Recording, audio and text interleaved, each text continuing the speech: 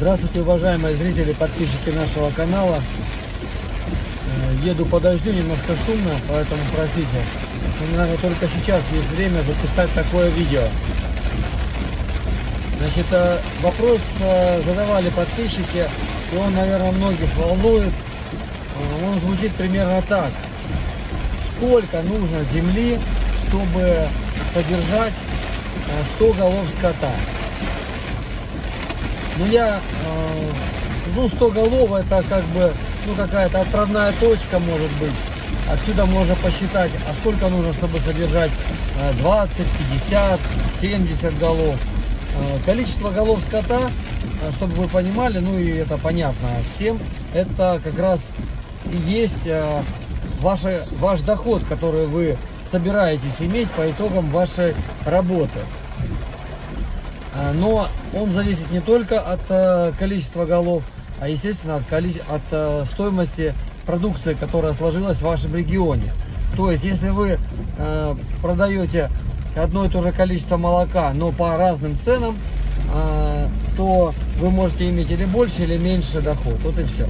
Поэтому, может быть, при реализации молока там где-то в Подмосковье по цене 120 рублей за литр, это можно держать 10 голов скота, а если где-то работаешь в Орловской области, а, например, где цена на молоко 20 рублей за литр, то надо иметь больше голов скота, чтобы иметь э, тот же доход.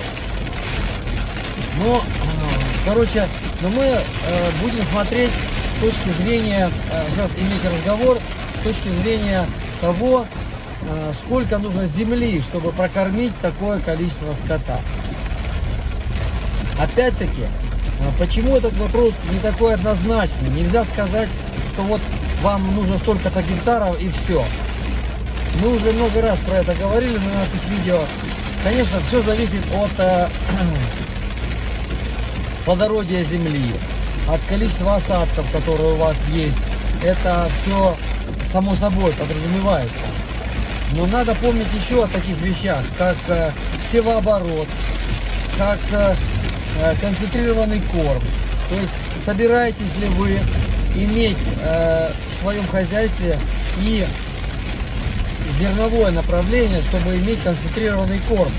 То есть размол или комбикорм, который сами будете делать из своего сырья. Это тоже очень важно. Э, как правило, получается так, ну, складываются так обстоятельства, что, ну, по нашему опыту, например, что Э, покупка э, концентрированного корма фактически, ну, если вы его хотите покупать полностью, она фактически делает э, очень низкой вашу рентабельность. То есть вы большую часть денег отдаете на вот этот концентрированный корм, который идет в пропорции примерно 250-300 грамм на каждый литр надойного молока. И поэтому у вас будут расходы немалые на этот корм. Потому что в этом корме э, концентрированном заложены э, прибыли изготовителя этого корма. Поэтому вы, ну, хотите, не хотите, будете, платить, будете переплачивать.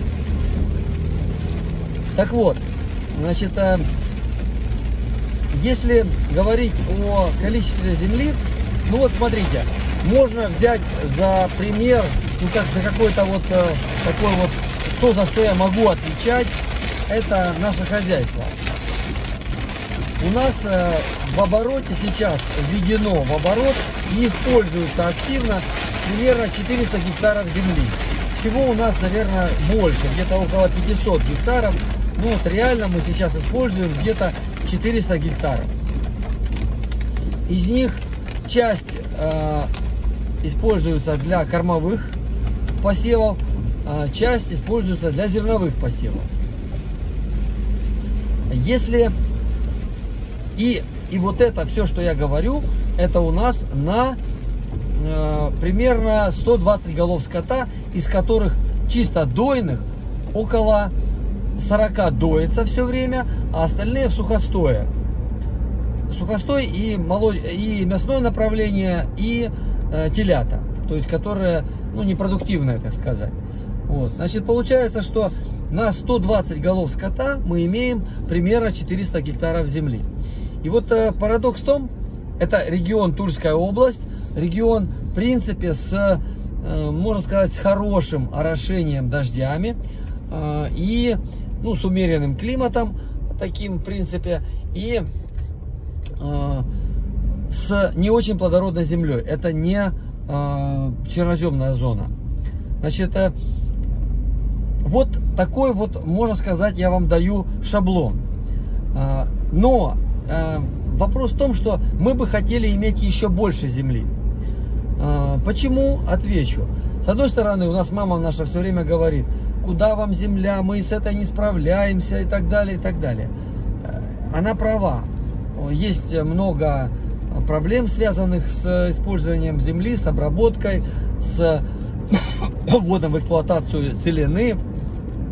Не все мы успеваем, не все хорошо делаем, не со всеми посевами идеально следим, где-то не можем а, вовремя обработать, где-то не можем опрыскать вовремя, есть проблемы. Но это решается или наемом людей, э, или каким-то вот ну, делегированием полномочий там, но, например, ну почему, вот я все-таки хочу сказать, почему вы хотели бы иметь дополнительно землю? Смотрите, кроме тех культур, которые можно сеять на э, поддержание жизнеспособности своего хозяйства и э, в концентрированных кормах и в грубых кормах, можно сеять высокомаржинальные культуры типа рапса, типа там подсолнечника в тех регионах, где это все растет.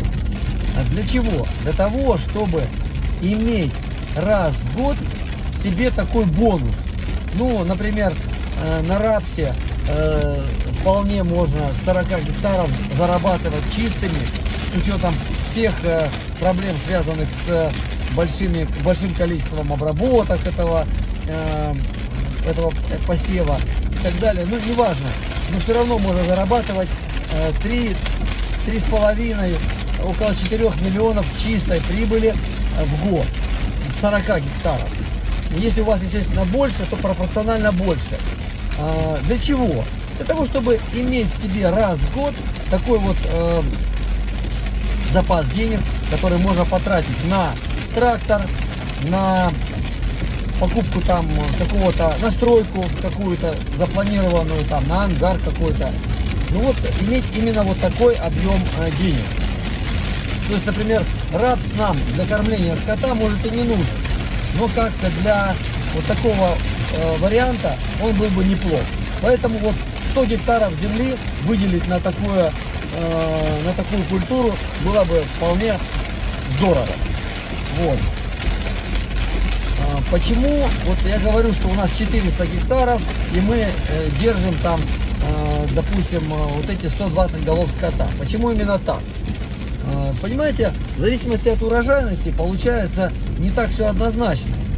Бывает, ты можешь много получить, и тебе, у тебя будет излишек корма. А можешь мало, если засуха. И точно так же и с пастбищем. Поэтому запас здесь всегда хорош. Я уже снимал видео, на котором рассказывал о том, что неплохо сеять зерновые культуры с запасом, чтобы в случае чего убрать их на, э, на сенаж.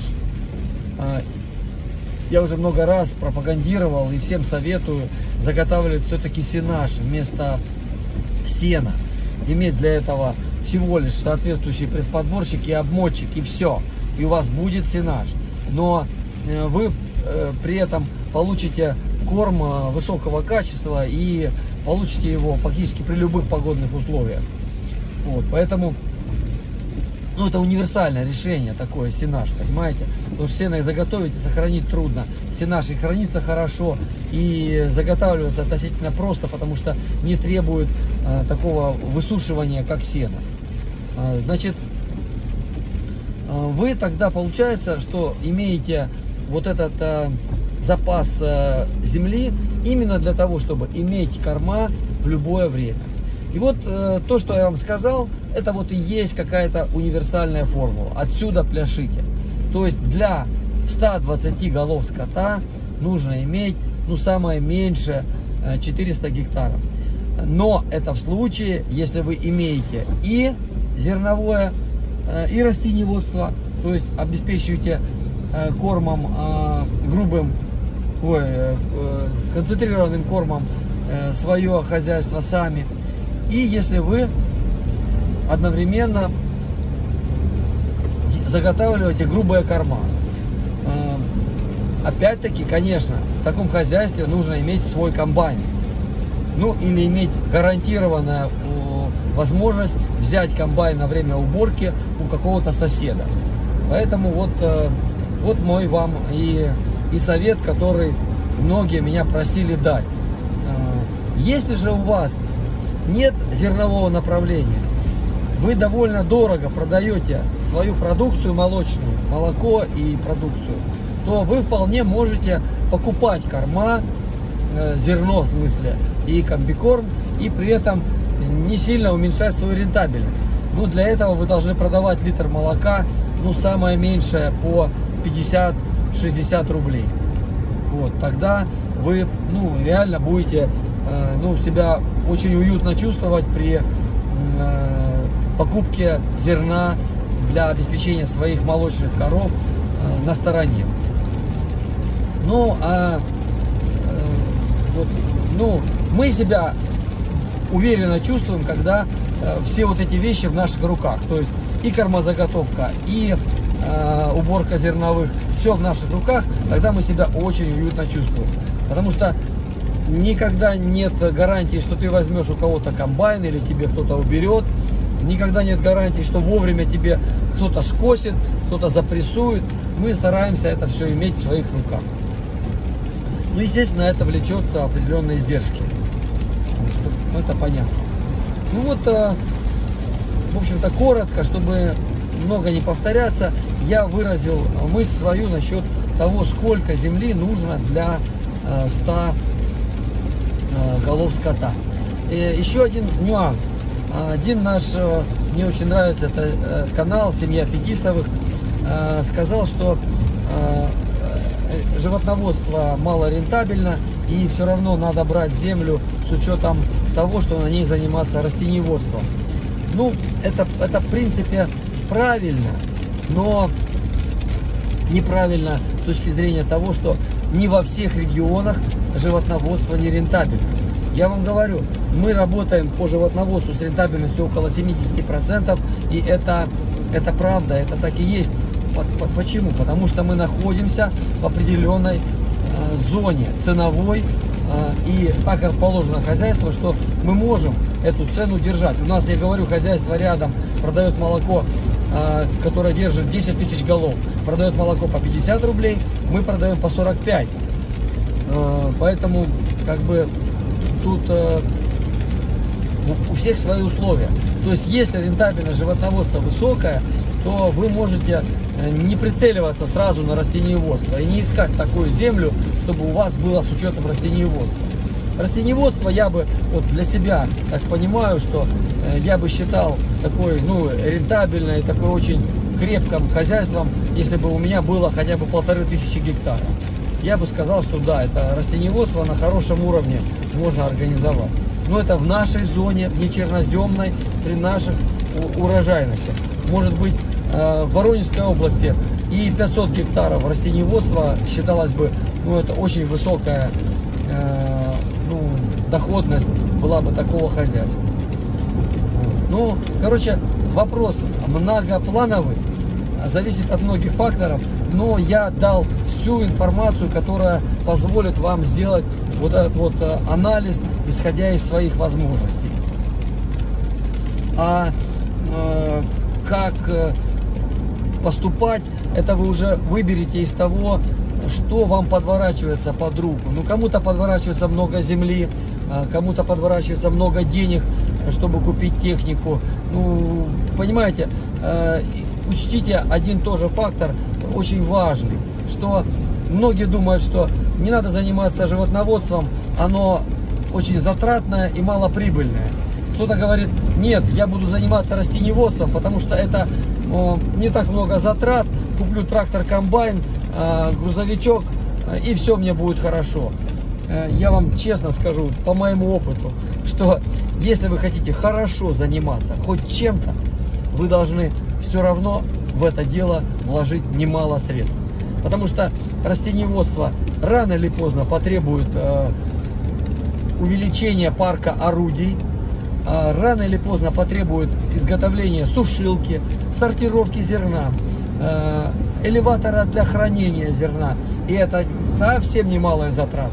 Если вы думаете, что мясное животноводство малозатратное, вы тоже ошибаетесь. Чтобы продавать мясо по хорошей цене, вам все равно придется построить разделочный цех, э, убойный пункт, э, содержать животное в разных загонах, разной категории животных. И, и все это повлечет э, затраты, и затраты немалые. Поэтому не обольщайтесь, что вы сможете в сельском хозяйстве вложить мало, а заработать много. Все равно придется вложить довольно много. А, многие вложения можно избежать, можно не делать, но вы должны быть готовы к тому, что при этом вы будете иметь какие-то издержки, связанные или с вашим здоровьем, со временем, которое вы будете тратить, с усилиями, которые вы будете прилагать к одному и тому ли, или другому процессу, который вы будете вести. И поэтому э, не обольщайтесь, где-то вы все равно что-то отдадите. Или вы отдадите деньгами, или отдадите здоровьем, или временем. Это вот э, однозначно.